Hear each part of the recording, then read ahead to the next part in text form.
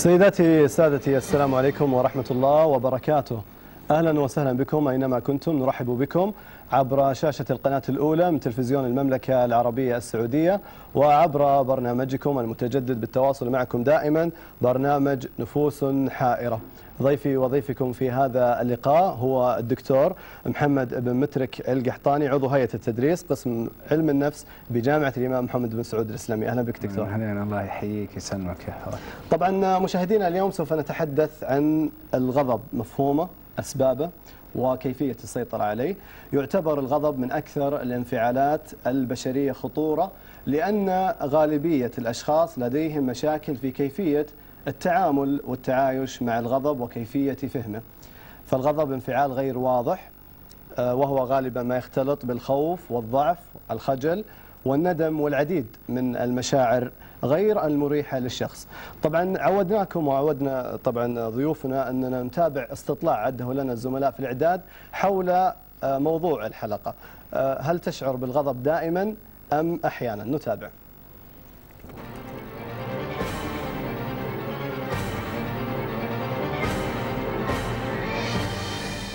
والله أحيانا يعني. الغضب يعني إذا في بعض المواقف معينة هي اللي الحين تستثيرك آه، إنك تغضب لكن في الغالب الواحد يحاول إنه يسيطر على غضبه قدر المستطاع. والله أحيانا حسب مواقف. يعني في مواقف آه، استفزازية أو يعني مواقف لما تشوف واحد يستفزك ولا واحد يغلط في الطريق ولا شيء هذه تسبب بأنواع الغضب يعني. والله أكثر الأوقات يعني أحس بالغضب. والله بعض الأحيان حسب الموقف طبعا في مواقف تتطلب أن الواحد يغضب وفي مواقف الواحد يعني يحاول ياخذها بأريحية بدون ما يحاول يتعصب أو كذا.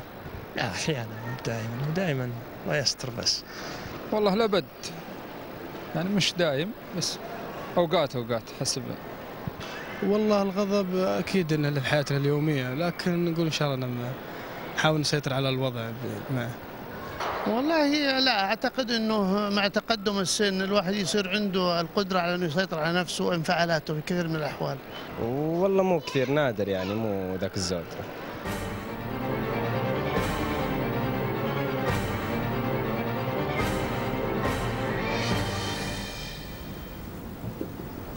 إذا مشاهدينا موضوع حلقتنا لهذا المساء عن الغضب. وطبعا دكتور محمد بداية الاستطلاع كان فيه العديد من الآراء متباينة ومختلفة. نعم. اللي قال دائما واللي قال الله يستر ما من الغضب واللي قال أحيانا تعليقك. نعم بسم الله الرحمن الرحيم. أول شيء بالنسبة للأخوان لتعليقاتهم عن الغضب وجدنا أن البعض يرى بأن الغضب آه، يحدث بعض الأحيان. البعض آه، أيضا يرى أن الغضب آه، آه، يجب أن يحدث. نعم. آه، من ضمن الاستطلاعات البعض كمان كان يرى يقول أن الواحد مع تكبر مع كبر السن آه، ال- الغضب يقل عنده. الغضب يحدث عند بعض الأشخاص دون البعض بناء على قدرة الأشخاص على التحكم بانفعالاتهم ومشاعرهم.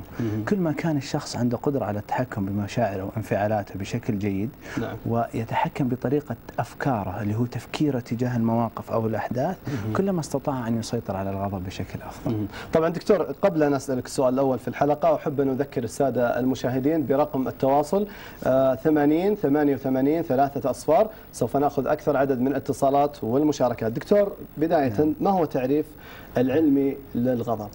آه نعم. التعريف العلمي للغضب اللي هو حدوث حدوث تغير انفعالي لدى الشخص نتيجة لمواجهته لظروف خارجية.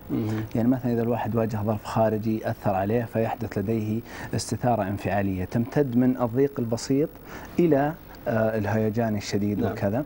وليس فقط الظروف الخارجية اللي يواجهها الشخص ممكن بعض الأحيان أمور متخيلة. أن الشخص يتخيل شيء يجعله يشعر بالغضب. ممكن بعض الأحيان يتذكر الأش... ال... ال... الإنسان أمور سابقة حدثت له ويفهمها أنها إساءة لذاته فيحدث لديه الغضب. فالغضب ليس دائما هو علاقة بمثير خارجي يواجه الشخص. يعني بعض الأحيان الواحد يغضب لأشياء يتذكرها بعض الأحيان الواحد يغضب لأشياء آه، يتخيلها. فالغضب يختلف بناء على الموقف ولكن الغضب هو من أكثر الانفعالات وضوحا في الشخصية. فعلا. يعني إذا الواحد غضب أو زعل آه، عليه. في- الغالب حيبان عليه يعني من تعبير الوجه من التقاسيم من الكلام من كذا يبان عليه نعم. نعم. طيب دكتور محمد بالنسبة نعم. للغضب يعني إحنا دائما نسمع نقول اللي عنده ضغط دائما معصب أو اللي عنده قولون دائما معصب هل الأمراض الجسمانية لها دور أي. في الموضوع؟ ممتاز. الأمراض الجسمية وجدت معظم الدراسات الحديثة أن الأمراض الجسمية بعض الأمراض الجسمية لها علاقة في الغضب. نعم. وخصوصا اللي هي أمراض السمنة أمراض القلب آه القرحة زي ما تفضلت آه ارتفاع ضغط الدم آه آه ال- ال- الحياة الحياة الحياة السيئة اللي هو الحياة الضاغطة وكذا. هذه كلها لها علاقة في الغضب وترتبط بالغضب نعم. حيث وجدت معظم الدراسات أن هناك علاقة دالة ارتباطية بين أمراض القلب وارتفاع ضغط الدم وبين الغضب. مهم. يعني كل ما زاد الشخص في أمراض القلب أو كذا كل ما زاد لديه الغضب. مهم. يعني الأمراض الجسمانية تسبب آه، الغضب. آه نعم مو جميع الأمراض الجسمية بعض الأمراض الجسمية بعض. اللي هي زي السمنة زي الصداع النصفي زي آه زي انسحاب الشخص من المخدرات. يعني شخص كان مدمن على المخدرات بشكل عام يغضب. دراجز أبيوز اللي هو سوء استخدام العقاقير أيضا الواحد ممكن يغضب. أيضا آه إذا الواحد تعالج من المخدرات اللي هي فترة الانسحاب من المخدرات أيضا الشخص يشعر في الغضب وفي الانفعالات وكذا تكون متذبذبة إلى حد ما يعني. طبعا دكتور محمد في كاميرا البرنامج أجرت استطلاع أيضا آخر نعم. مع المجتمع وكان يعني سؤالنا لهم ما هي أسباب الغضب بوجهة نظر المجتمع؟ ممتاز. وبنسألك هالسؤال. طبعا لكن نشوف الأستطلاع مع السادة المشاهدين ونعود مع الدكتور محمد القحطاني.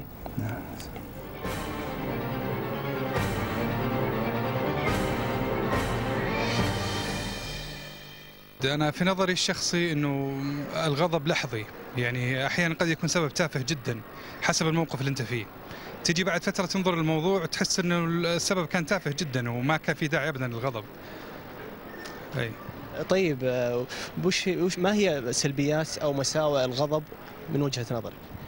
أنا شخصيا بعد ما أغضب أحس إنه أنا يعني ليش ليش غضبت؟ الموضوع ما كان يتطلب ابدا في إنه يستاهل غضب أو كذا. التجاهل أم، الاستغباء أحيانا من بعض الأشخاص أه، الاستهبال بعد. حدود آه، إذا تعداها الشخص آه، يبدأ الواحد يتنرفز آه، يبدأ يثور. يعني آه، أنا اعتبرها آه، حدود أو أسباب هي اللي تسبب آه، الغضب. آه، طبعا أسباب الغضب هي تختلف. في بعض الأسباب تكون أسباب جوهرية. وفي بعض الأسباب أحيانا تكون أسباب نفسية. يعني ممكن بعض الأشخاص أو بعض الأحيان يكون الإنسان مثلا في شيء معكر مزاجه أو في شيء آه، مشغله فتلاقيه ممكن يغضب من أتفه الأسباب. إذا كان هو منشغل أو في شيء مثلا خبر سمعه ما أعجبه. ولو في أحيانا بعض المواقف آه، اللي تغضبك لما تشوف مثلا أخطاء واضحة تشوف مثلا أشياء مثلا ما تغتفر آه، بعض المظاهر مثلا في المجتمع بعض المظاهر اللي تشوف مثلا أحيانا ممكن شيء من آه، ابنك أو من أحد من أهلك خطأ كبير. هذا أحيانا شيء تغ- تخليك تخلي الشخص يغضب أكثر. يمكن أكثر شيء يكون التوتر إذا كان الواحد متوتر يغضب يعني يتولد عنده شعور بالغضب. الموقف هو ال- هو ال- ال- الحاسم الأول والأخير فيما يتعلق من الأسباب المؤدية إلى إلى حدوث الغضب. هو السبب الرئيسي بالنسبة لي أنا في بعض الأوقات أن تغضب في نوع من الغضب محمود وفي نوع من الغضب آه، يعني غير مقبول. الغضب المحمود الواحد يغضب مثلا في فيما يتعلق بحرمة الله سبحانه وتعالى. لو حصل بشيء يعني يمس معتقداتنا وديننا وبلدنا قد يغضب الإنسان وهذا غضب مبرر ومباح. لكن بالنسبة للغضب الغير مبرر هو الغضب اللي بدون داعي. طبعا أنت عارف المدن على وجه العموم والرياض بوجه الخصوص مدينة مزدحمة.